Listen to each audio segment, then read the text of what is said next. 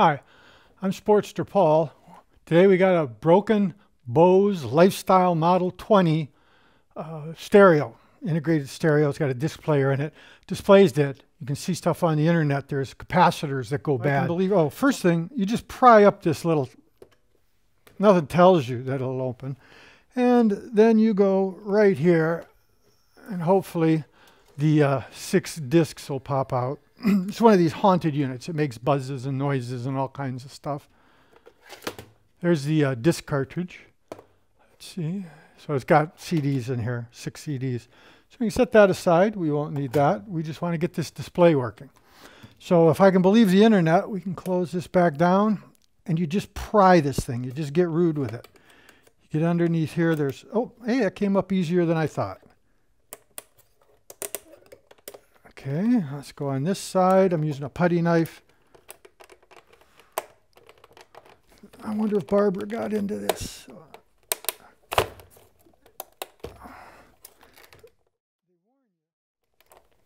Okay, in addition to the putty knife, I've got a gasket scraper. Gasket scrapers are great. Okay, this one is has broken off. They, they, not broken off. The, the glue has come loose. They warn you about that. We'll glue that back when we put this thing together. Let's get into this one. I was trying to get the, uh, the knife under it. See, people who don't use screws and that.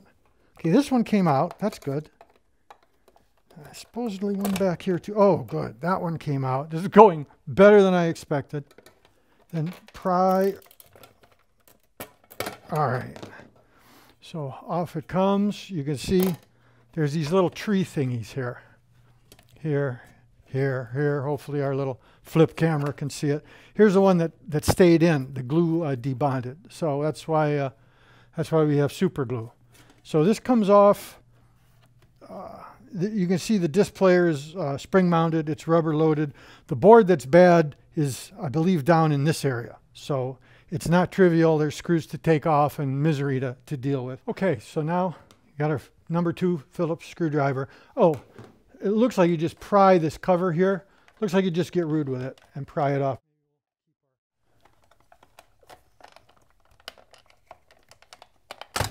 Yes, hey, this is called incompetence when you design stuff like, yeah, um, I wish, there's little hooks on the top. So it looks like the right way to do it, if there can be a right way when stuff snaps together. The hooks are here. It looks like you do go to the top edge and just pry it back. All right, more incompetence. Oh, I forgot to bring a little tray. So three screws. One screw here. Put that there. Uh, I think there's a screw right here. The internet videos that, there's two internet videos that discuss this and I'm not happy with either of them. Uh, let's see the black plastic's supposed to come up. I have. Here's the way to, finally figured out the way to take it out. You pry like this and up it comes easy. I may have forgotten those, uh, to get that black plastic top off, you put a, there, there's two holes, or four holes here, two on each side. You put a straight slot down and then pry it in and that pulls this little hooky thing away and lets you come up. So see, big giant hooks that, that plunge down. That's what these two openings here are, for big giant hooks to go down and mess with everything. All right, well, now let's get back to draining the swamp that we were working with. This is all rubber loaded. Since we have this cable off, what I see on the internet is this mess just picks up. The whole thing just picks up. Of course, it won't work for me. I see the spring vine finally. Okay, we'll put that up here. Yippee. Four little springs. You know where those are going to end up. Okay, finally. And then there's this. This is the RCA input jacks. It's kind of pushing out. See, nothing is straightforward. See, when, when, when incompetent industrial designers decide, oh, we're not going to use screws to hold stuff together, then everything is a puzzle there's a tiny little tab at the base of the circuit board. Now, these connector-looking devices, as Dave Barry might say, I think they're just hard soldered in. I don't think they're connectors. I don't think you're ever meant to pull that off. you're supposed to have this little dangly pigtail, another design incompetence. Take a little straight slot screwdriver. I'll throw some pictures in here. Um, and you go down, there's a little tab at the base, and you push that tab down. Then you can rotate this out like that in this direction. Let's see. Okay, now I can't do it. There we go. See, then once you can rotate it, then you can pull it straight out, and life is good. And then this thing comes off. Hooray! All right. More snap together buffoonery. Uh, I can see it. Oh, yeah, well, I guess I did something. Okay, pulled it back, pulled it towards the inside of the unit, pull it up. So at least we're getting rid of the bigger stuff. Let's get our little stuff in. Maybe it's all these capacitors. Still, I've got the wrong size, but maybe the, if the lead spacing is the same and the values are the same. Barbara's smart. I think she got the right ones. One, two, three, four, five. Ah, this is just the goofiest construction. This is as bad as car stereos. All right, so we'll yank this out. No power. Now I'll go get the Metcal, the soldering iron stuff, and unlike all those internet videos, I'll show you how to replace these capacitors. Make sure we have the right value. Electrolytic capacitors, which is these little can types, they are polarized. You can't put them in either way, then you'll blow stuff up. They actually literally will explode. That's why you always wear safety glasses when you power stuff on the first time. Uh, these, well, we'll see. They are different size slightly, but that doesn't, as, as technology's improved, capacitors have gotten a little smaller, and these are physically smaller. We'll figure out, we got plenty of them, we'll figure out if we can stick all of these in, and we will see if we can do this trick of powering it up ahead of time. I'm going to go get the soldering iron and the solder sucker and the solder wick and show you the different ways you can replace these uh, capacitors down here. All right? Okay, finally we're to the point. We've got a PanaVise. You got to have a way to hold this stuff, trying to work on it while sliding around. It's, it's nice the way the heights work out. The, the board that I have to work on is in the jaws of the PanaVise by the Teflon jaws. They have a little kit. Uh, the capacitors are here. I'm going to take one out, check the value. Hopefully the lead spacing and values of this are, the, are correct. They, Barbara and Doug gave me that. Okay, there's a Metcal soldering iron. Many consider it to be the best. Uh, two ways to two ways to remove a, a through-hole soldered component. A solder sucker, like this. see if we can put it in. So you, you press down, you hear a click, then this little release thing, piston goes up, sucks the solder out of the hole traditional, works pretty good. They used to actually pop so people would hold them by their eyes and get blinded. Now the modern design is they come back out so you, so you can't get whacked by it. The other way is solder braid, like a braided copper with uh, flux on it. I should have brought a flux pen, but oh, nobody's perfect. That's what happens when you're working in the studio, not the lab. Different uh, thicknesses for the, the various solder wicks, solder braid, if you will. So I got that there. I'm going to try. The other thing I didn't check, yeah, we got a pretty good tip here. So it's charged up. We're going to do these two right here.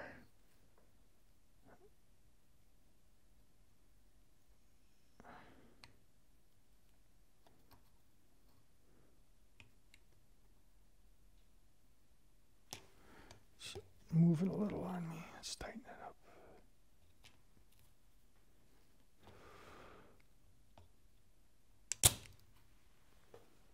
Uh, not good, not bad. Let's see. It might be time for the magnifier again. Boy, life's easy when you can see stuff, I tell you. It's like the iron isn't getting hot enough, to tell you the truth.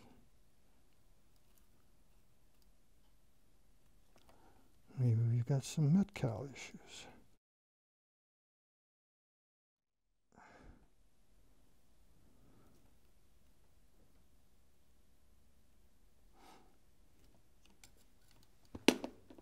These are into a ground plane, so the heat gets taken away.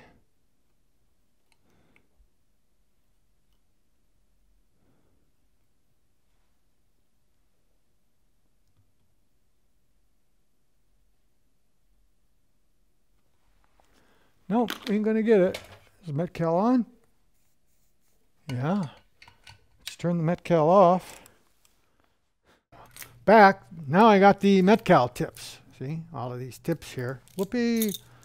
So I got, I took out the little thin one, put in this really big fat one. So hopefully that'll throw a little more heat into this thing.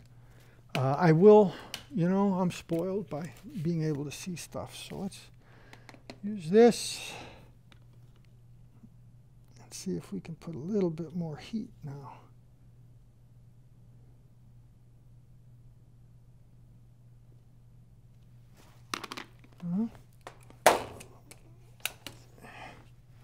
Let's try this.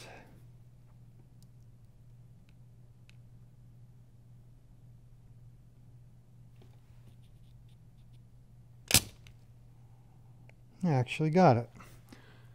Well, maybe the solder sucker is. I have friends who say the old-fashioned solder sucker is the way to do things. So now, you got like depends where the leads are bent, right, for where you come in on it. So here, patience is a virtue. Make sure it gets good and hot.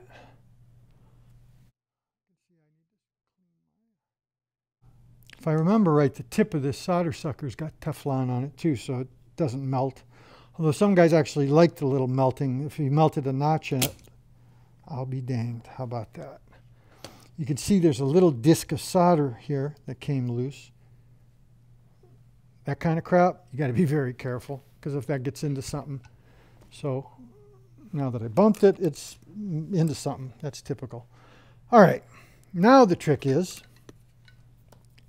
you put a it won't come out yet. It's, it's soldered on the side, but you can get heat to the wire itself. There, see, it, it loosened the wire. The, most of the solder's out of the hole, but the wire's still stuck to the side of the hole. So now you got to reheat it with most of the solder out.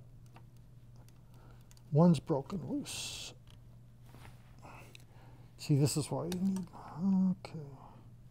At this point, since one side's broken loose, and although I didn't bring some good, you can straighten this wire out because the lace tough enough.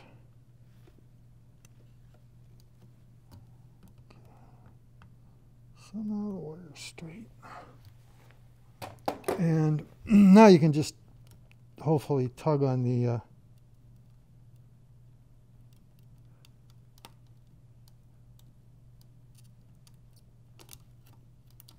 Okay, out it comes.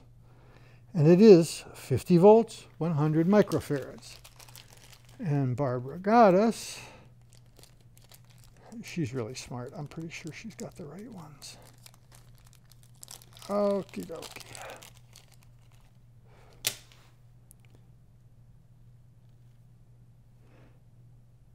Vent. Ooh, it's a high temperature.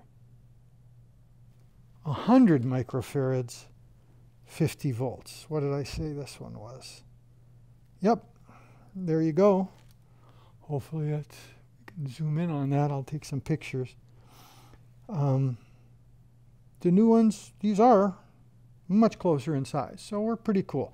Now here's the trick, and I was stupid because I didn't uh, note the polarity of this. Hopefully,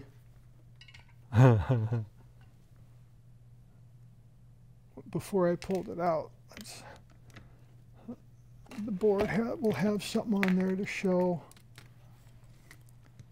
And of course, everything has to be some symbolism that no one understands. You could see, especially if this flip camera is still working, yay! Uh, you can see there's, they draw a line here. Uh, what that's supposed to mean, well, we'll never know. Ah, we look at the other ones, where the line means that's the minus sign of the capacitor. So for C20, the first one, or no, I'm sorry, C28, you got to have these machinist goggles or you can't see. For C28,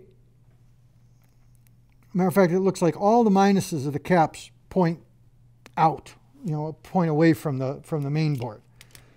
So here we go. Here's the minus. You start that one. Am I even in the... Uh, view of the camera? I hope so. And go there. Don't uh, don't try to get them right up against the board. All that does is uh, bring too much heat into the capacitor when you solder it.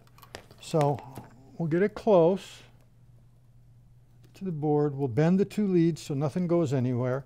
We'll straighten this mess back up, put it back in the vise.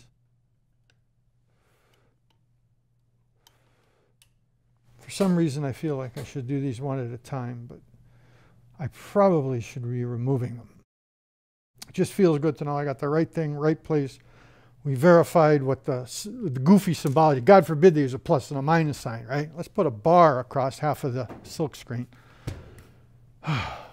These are my people. All right, next. We had good luck with this solder sucker. Rather than solder them one at a time, I'm in the mood to remove them all. Bring my machinist mask down. Get this here. A lot of heat. Be really patient. Just keep the heat to it, and then in one motion, yes. Now you got to go, as you get older, you should try to be more and more ambidextrous.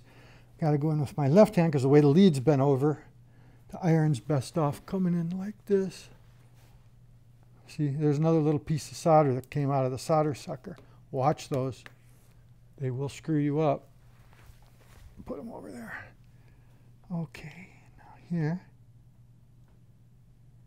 And just patience, because there's a ground plane. It's sucking the heat out of this soldering iron, sucking, cooling off the solder. So you just take your time. You'll be happy about that. Okay. And, oh, that worked out great. Okay. Now maybe mess with this a little bit to get the. Uh, where are we? Okay. So now hopefully, by being really careful, we'll be able to that one out.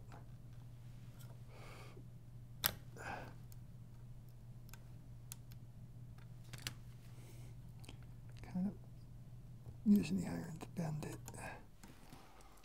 And this time, let's actually watch when it comes out so we can see. It's this one.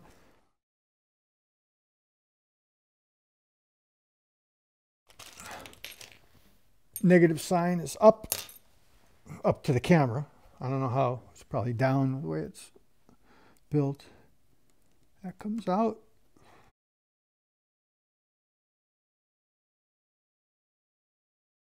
Straighten these out, get them lined up.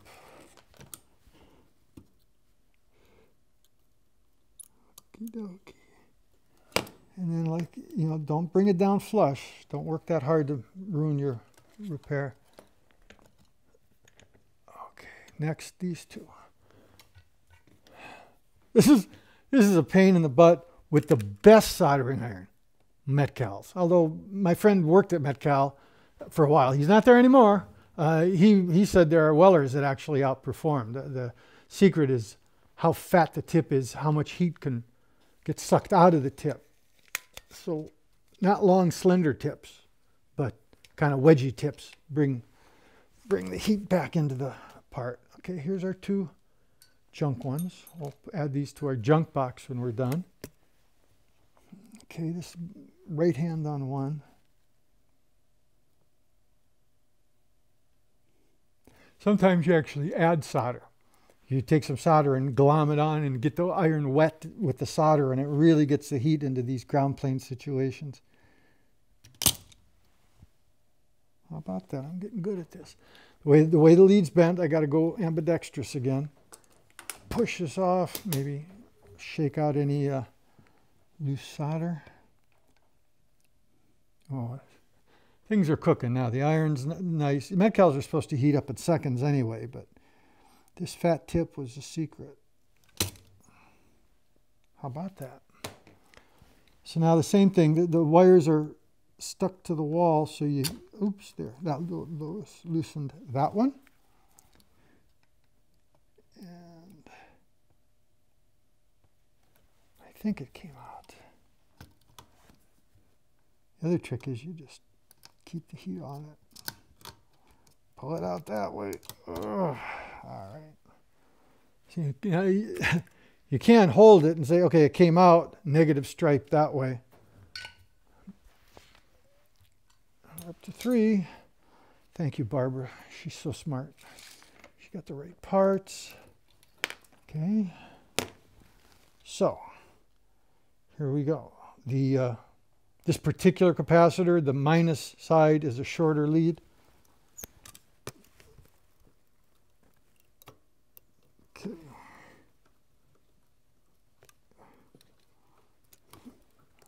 Now the internet said there's five of them. Oh, sure enough, there is. Then these two here. Uh, the, now, all of the caps are probably bad or going bad. They say these five will fix the display. Let's hope. Otherwise, maybe all of them. And it's not too hard to troubleshoot. You can just put, you don't even need an oscilloscope. You can put a meter across it. And if there's AC, you know, set the meter to AC and hopefully an RMS meter, but probably any meter would work. And if there's a, you know, two volts, if there's too much ripple on that, it's not working and it needs a new one. All right, so another visual check here and here. This is going better than I had any right to expect. Oops, now I'm confused. Don't take the wrong ones out. Okay, these two. Still recording? I hope so. We had more dead battery grief. Oh, there's actually a red light on the uh, flip camera. Hopefully the flip will help. So, that's this one here. This Metcal's working the way I'd expect now, the way I want. Just lots of heat. Take your time. You know, it, it mushed in right away, but the more heat you put in this, the more solder will come out. Then same thing, because the way the leads are bent, I gotta go ambidextrous. Might be a good time to uh, come in this way. All right, and da, da, da, take your time. Count to 10, do something. Check your phone. Modern times. Oh, that was a good one. All right, same deal.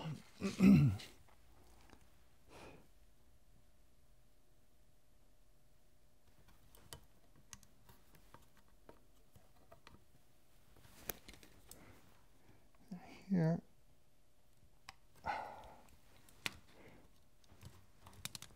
This one's loose. Sometimes bend the lead a little bit.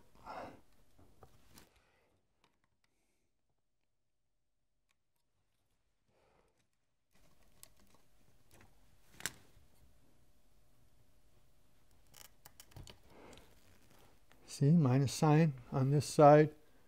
That's the fourth one. And Barbara got lots of extra parts. God, I love her. All right, so.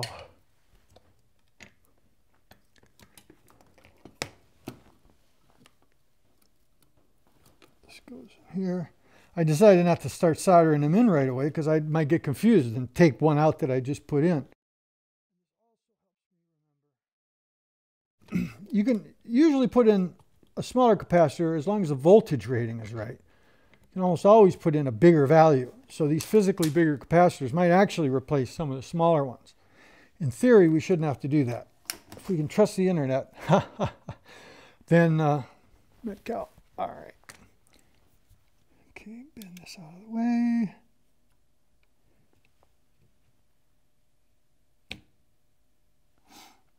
Lots of heat. Lots of heat.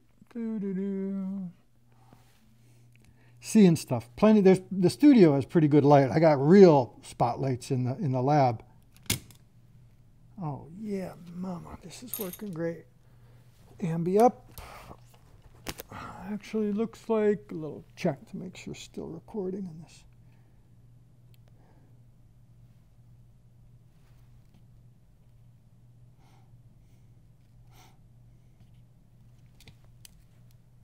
Oh, I didn't charge it. Just, just an excuse to keep a little extra heat on it, that's all. I scarred up the uh, solder mask a little, nobody's perfect. let's put this back here. This should be the last capacitor we need to mess with.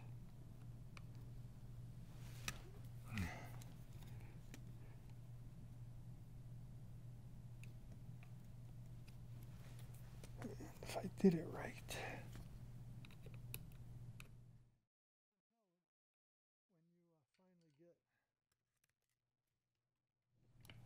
Okay. you get spoiled using this machinist magnifier. Same deal. Negative signs in the pinch of our finger. Five old caps. Like anything, once you get into it, it the actual fix itself doesn't take that much time. Uh, trying to make it so you can see. The negatives are all pointing this way, that way. So the negative is the shorter, so that means the longer one goes in first. And in it goes. Okay, same deal. Don't, don't worry about getting it right up against the board. Okay. Next, clean solder.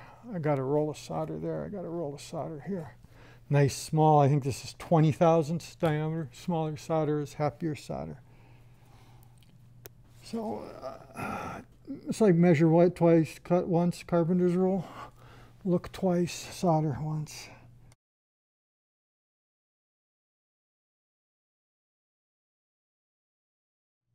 Okay, that looks good. Kind of using the corner of this big fat wedge might not be the smartest thing I ever did, but don't accuse me of intelligence. Okay.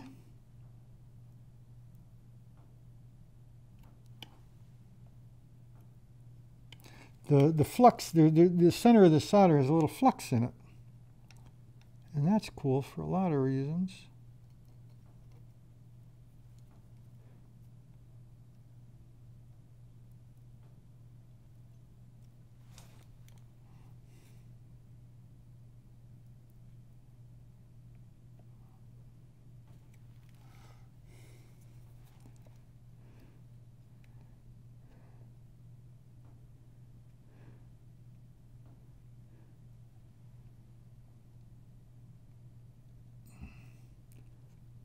Of course, the last solder joint is always the pain.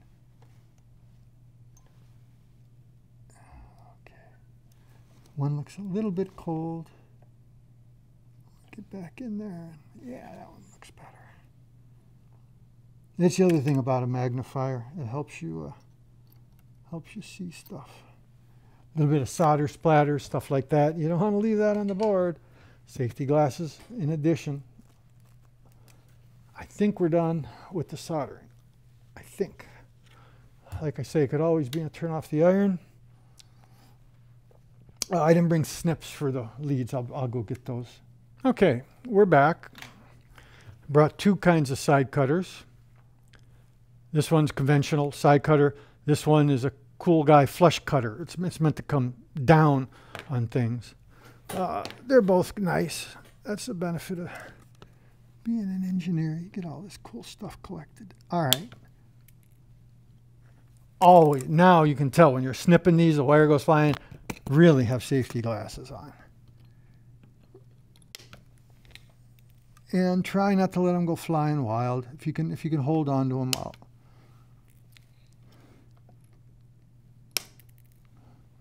that one hit the ground. I didn't see where it went.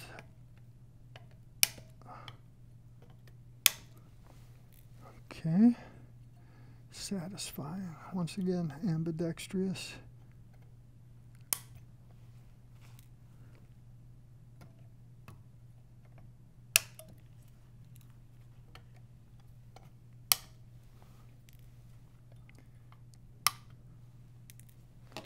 Okay, so let's get all these little leads collected. Put them here with the old capacitors for our one day they'll be recycling little chunks of copper like this. But for now, I think we can hit the... Uh, ah. All right, another quick inspection. Look for, uh, you know, sloppy. This isn't the best work I've done. So one side of the capacitor goes to the ground plane. There's, the solder should kind of just flow out onto the big plane. But others are just a, a, lead. And hopefully I haven't shorted with my ham hand big giant soldering iron. Haven't shorted any of those out. It looks okay. All right, now we're in the joy of victory, agony of defeat phase.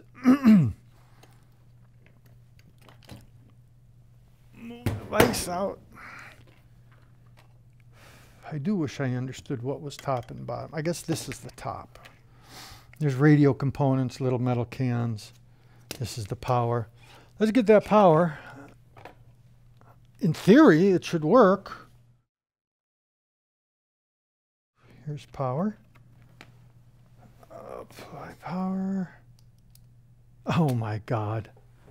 Joy of victory. It's 96.5. I don't know if you're going to be able to see this. We'll point it at the flip camera. You know, maybe you can see it working there. Point it at the upside camera. It's very hard to see. Let me get that. Uh, I'm really not exhibiting the best work habits, but I don't know if that helps. May or may not be able to see it. It's not terribly bright, but it's there, you know. Okay, so it was pretty disappointing. The display was still dim after the, the five capacitors. You could barely see it with the frosted or black plastic cover over it. More internet research. There's a C27 that's on the top right here, capacitor number six. Replace that. And then while I was there, there were two smaller diameter, smaller um, 47 microfarad. Uh, I replaced those because I had a whole bag. You saw that whole bag I had of, of uh, these larger caps. So two other capacitors down here. So all these caps are new down here. The big one is the same, but I measured it. I put a voltmeter across it, and thankfully there's not a lot of ripple, but there was a ton of ripple on C27 and a couple of these others. And a capacitor is supposed to take that ripple out. I touched capacitor to the back, an extra one, identical one. Display got a little brighter. So what I did, it's a little Mouseketeers. You can probably see it right here. I took, I desoldered C27 up here on top, this, this one, and soldered two extra capacitors, triple the capacitance, and kind of piggied those back so it's a little triangular thing. Here, let me take a little picture. You can hopefully see what I'm talking about. If I can get it to focus, click, there. So a little Mickey Mouse having three capacitors. Uh, kept the leads attached, you know, I bent them, soldered, and left the leads there so the, the solder wouldn't remelt. And hopefully it'll take a little heat out of the whole mess. And then soldered this triple capacitor in. I still have a lot of ripple on at least two more uh, capacitors, these bottom side ones, but when I touch capacitor to the leads, you know, from the outside here, had the leads folded over so I could touch it, no change. At least now the display's bright enough that with the black cover over it, you can read it. So I didn't want to have Doug and Barbara, and thank you, Barbara, for including all those extra capacitors. She gave me a whole bag of the proper value. Uh, I looked at some of the big caps. I didn't see uh, a lot of ripple other than here. It's bright now. So let's put it back together. Getting smarter every time, like always, hopefully for the last time. So we'll take the base, get the base. We'll take the changer, drop it down, and oh no, put four springs in. Spring.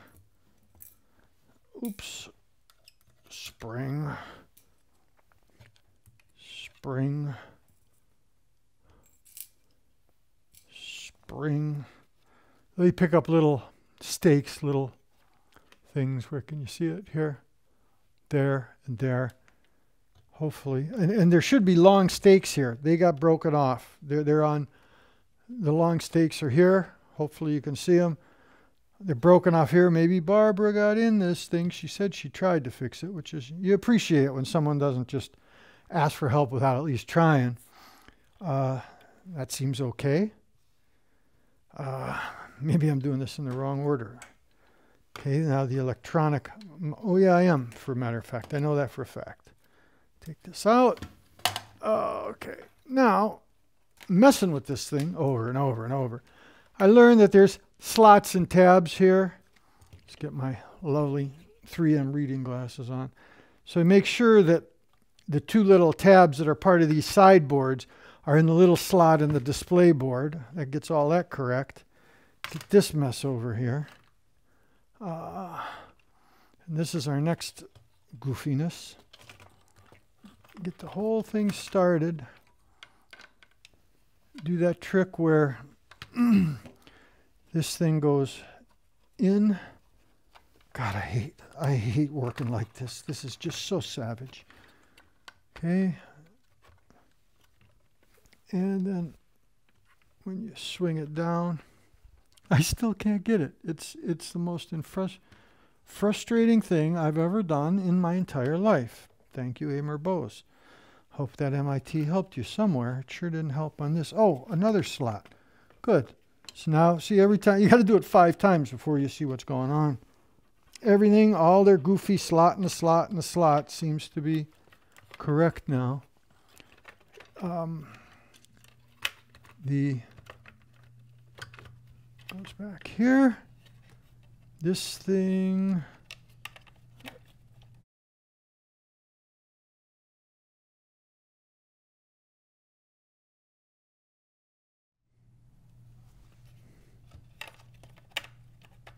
There. Had to twist it a little. So this pops in back here. Uh, we got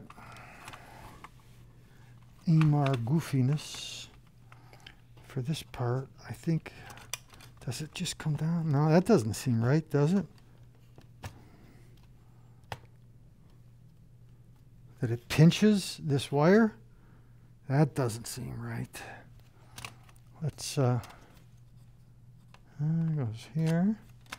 This goes here. This goes here. Once again.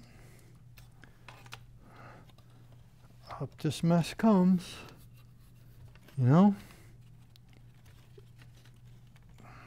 It actually does seem like it's in the right spot.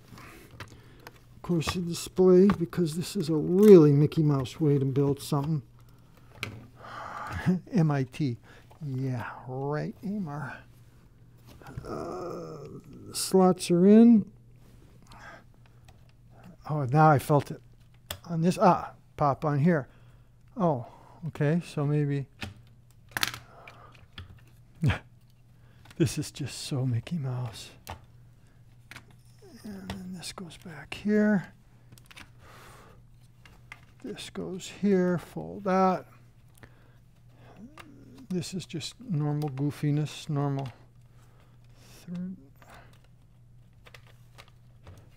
I still have, I mean, it just kind of lays in here. It's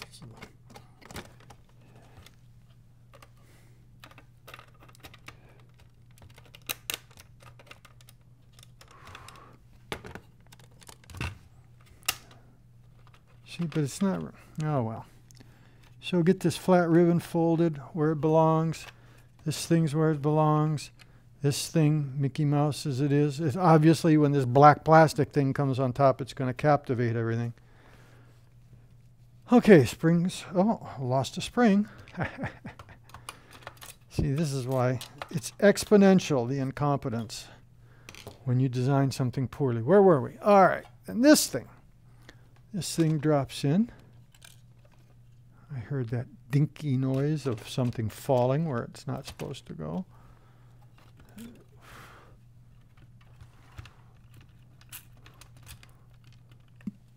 Spring seated, spring seated. Okay, this is goofy again.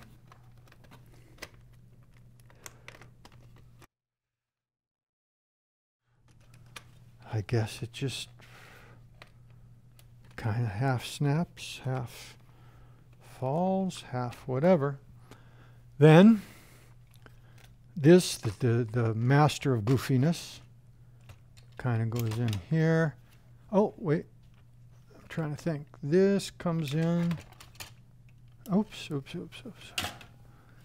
this master of goofiness. This is not good engineering. I'm sorry. Sorry, Bose. No highs, no lows. That's Bose. Alrighty. Then we take this.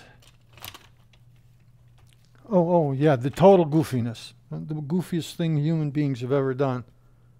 Make sure that the little twirl thing is pointed down because there's a pocket down here that's supposed to accept that.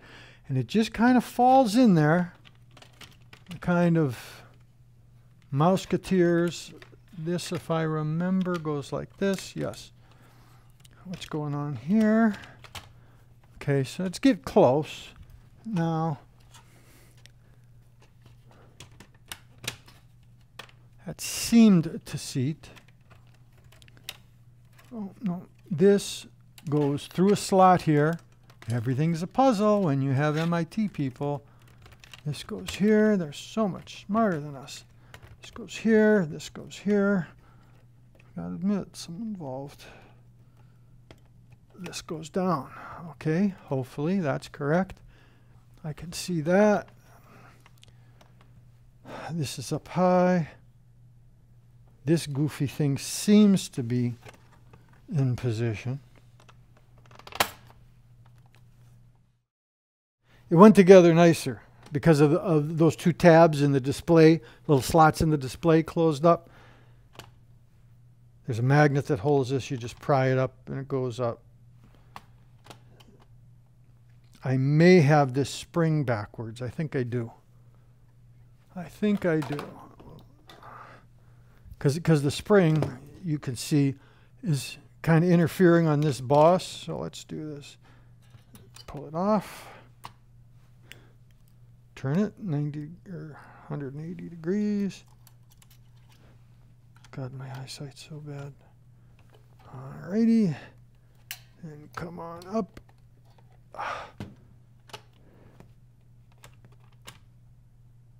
There we go.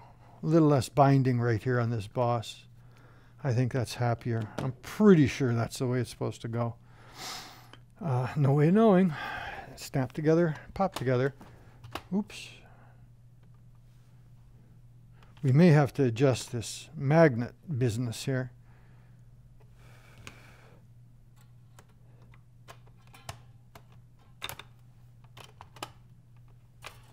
Loosen it, snug it back up.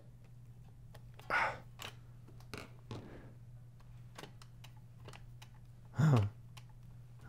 Maybe not. Okay, loosen it. Come on, move it way as far forward as it goes, because that's where. Ah, yeah. There's a little paper over the magnet so it doesn't make a clank. Of course, if it doesn't stay down, Mickey Mouse, but acceptable.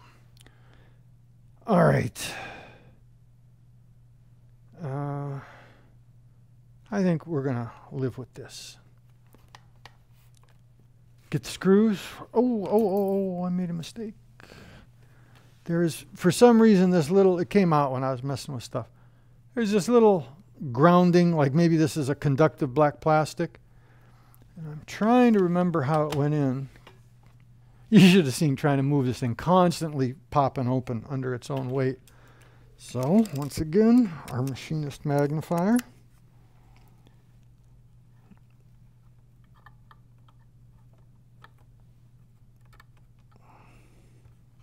Oh, I know what this is. It, uh,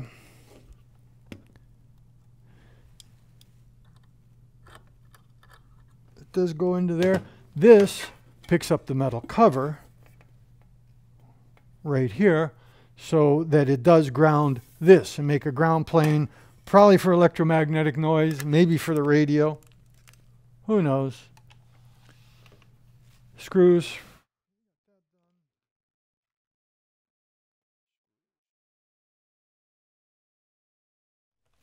Okie doke. Screws.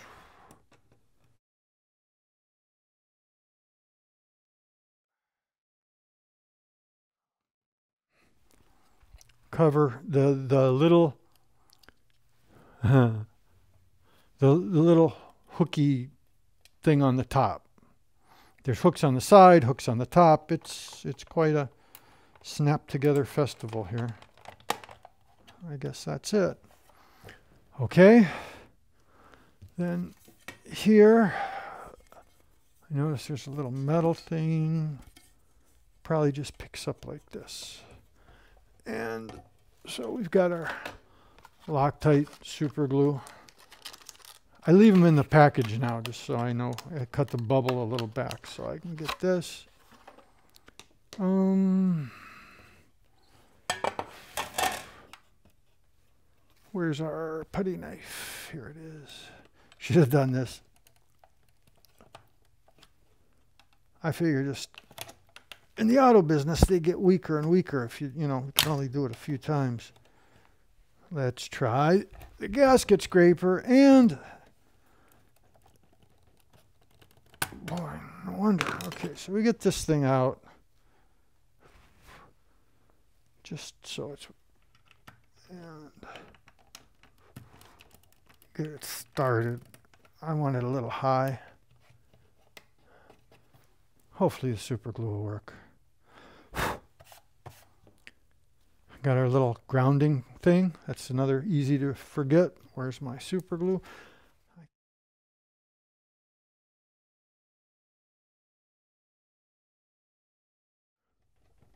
Never use too much of this.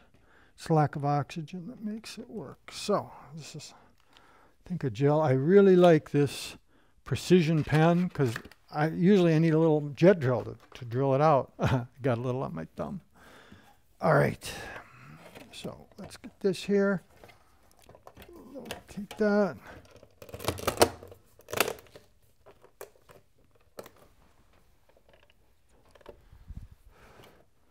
This goes up. I can see I'm causing myself some grief with the uh, audio here. So down, up. I don't like it, but that's their design, not mine. staying down. I forgot to bring the power supply out. I'm going to go get that. And then we'll uh, uh, show you. Hopefully, we'll be able to read it with those three capacitors kind of hacked in. All right. I'll be back in a second. It works. Let me see if I can get a good source here.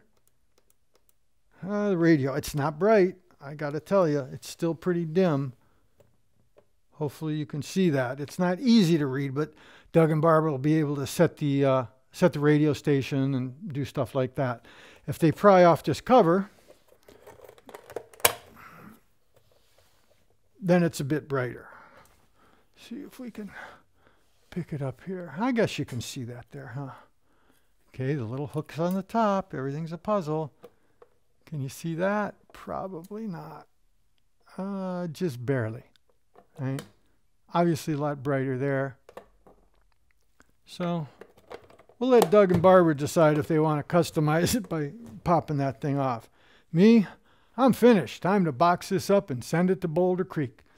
Thanks a lot. Thanks for your patience. Sorry it didn't go as clean. It never goes as clean. I assume that's what you want to see, how miserable everything is. Uh, I can put the disc. Here's the, don't forget, when we, I brought it out, I was visiting California from Florida here. I brought the thing out and we forgot the wall wart. And, and even though Barbara gave me those capacitors, I set them down on the coffee table and left those back. Okay. Insert this way. Well, thank you, Amar. There's some things you do right. Close that. Oh, I hear buzzing and zinging, and hopefully I didn't break that. I'm not going to uh, try to troubleshoot this anymore. The display works. We're done. See you next time.